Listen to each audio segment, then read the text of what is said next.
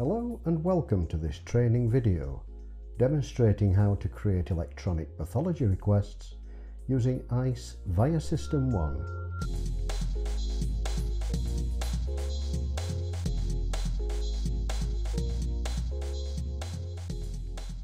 From the patient home screen, click on the flask icon to start the order.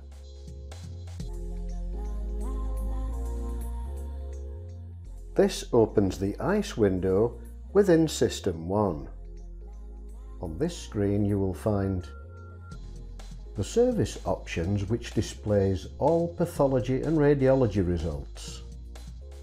The default selection of tests is the common tests. Tests can also be selected from the specialty tabs below this.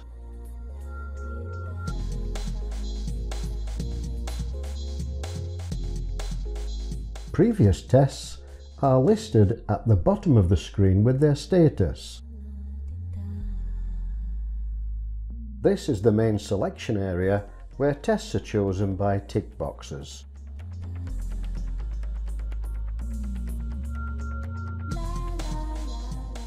Let's start a new request from ICE.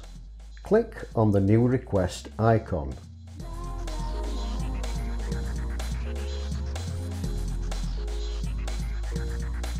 Now select the tests required.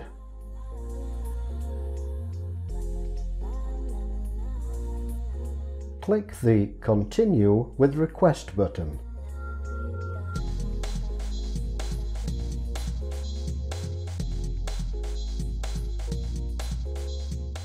The next screen displays your username and the name and location of the requesting clinician. Make sure these are all correct. For this request, Sample Now has been selected.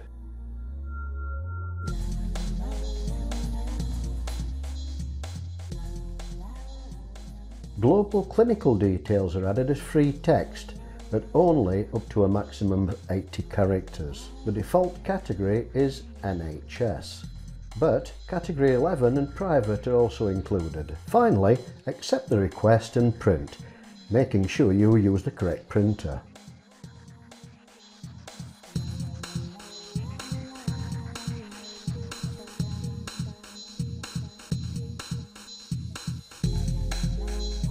The request is now complete.